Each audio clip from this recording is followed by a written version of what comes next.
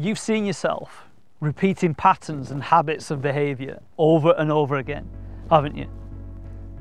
When you really step outside of yourself and look, look back at, at some of the things that you've done over the last week, two weeks, month, six months, a year, how much time do you waste watching TV?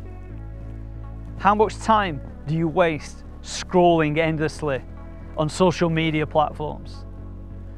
What I'm challenging you to do is to turn off that TV for 30 minutes.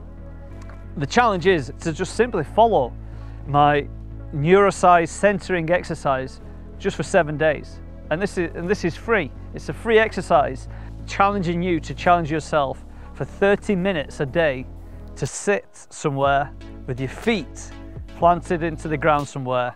If you can be outside, that's going to be amazing. But if you're in your, in your house, in your home, sat in a chair, your feet on the floor, and just listen.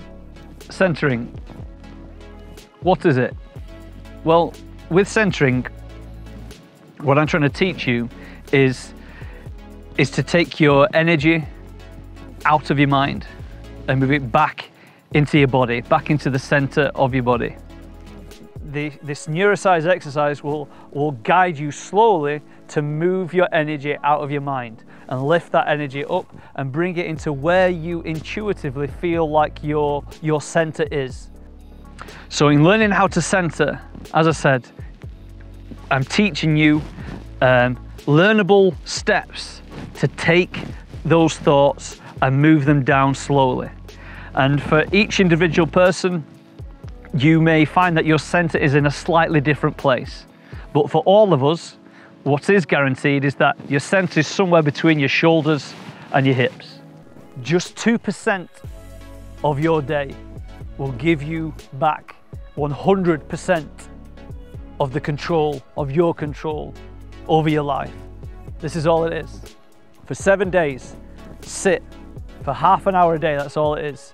You plug your earphones in and you, and you just listen. You listen and you follow uh, my, my, my guidance to help take you down. But it's not just about going down, it's ultimately trying to live your life at a higher level. So although we're trying to go down and get out of your head, we're trying to rise up and out. That's what this is all about. It's about raising and elevating our state of consciousness so we're not living subconsciously.